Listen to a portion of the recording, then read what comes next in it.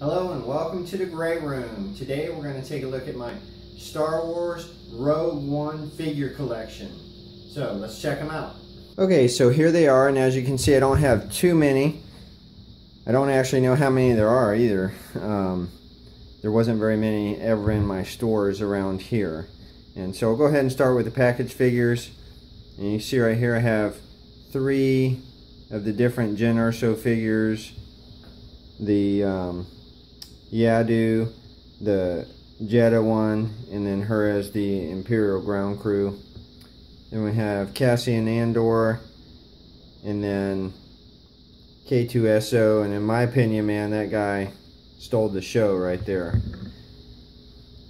And then back here we have an Imperial ground crew, and Darth Vader, and I love that scene at the end of the movie when he's coming through the corridor and just force holding people and wiping them out with his lightsaber.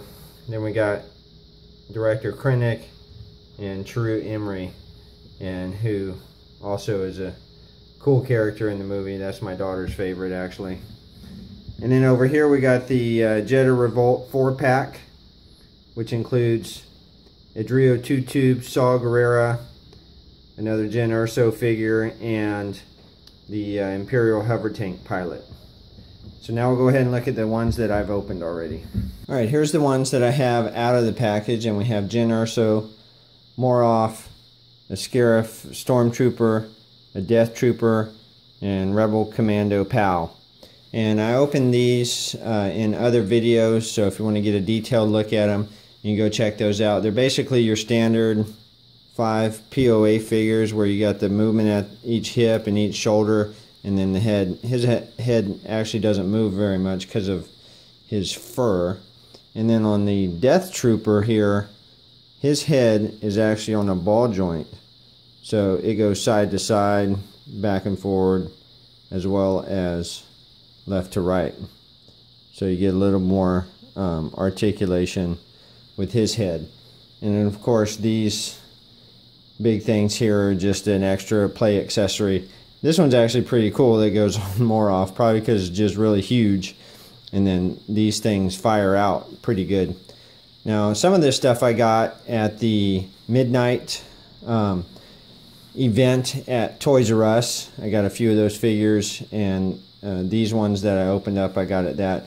Other ones I got like on Amazon or, you know, at like Toys R Us at Target as I found them. And like I said, my, the stores around here, man, they didn't they didn't really carry them after the initial um, drop for those. So that's pretty much my collection of figures for Rogue One. So let me know in the comments below. Do you have any of these guys? Do you like uh, these figures? Which ones are your favorites? Um, but other than that, that does it for this. Thank you for coming into the gray room.